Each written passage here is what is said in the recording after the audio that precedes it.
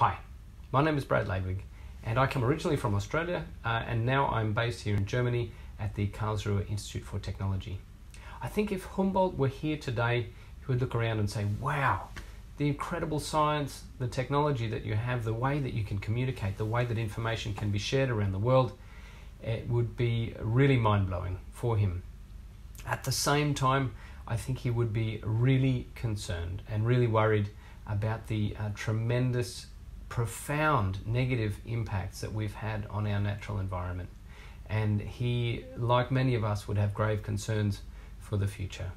So I am sure that if he was talking to us right now and able to, to say something, it would be this you need to act. You need to change the way that you live, that you work, that you eat, that you travel, and that as a society you grow because the current path that you're on is just not sustainable.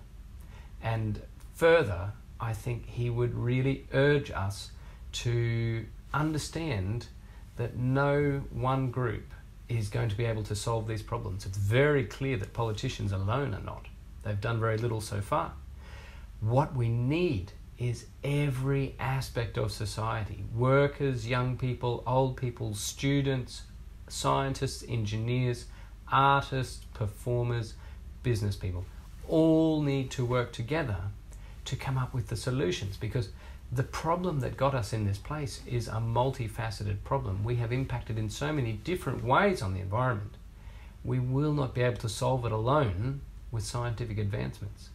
So uh, I am just thrilled to be here in Germany, to have the support of the Humboldt Foundation for my work and I have met many other Humboldt Fellows working in so many different disciplines and fields. It's really been uh, an enlightening, a really enriching experience for me, and I would uh, congratulate the Foundation for their work, but most importantly, uh, to anyone watching this video and anyone who appreciates the incredible legacy of Alexander von Humboldt, to listen to the important messages, to take note.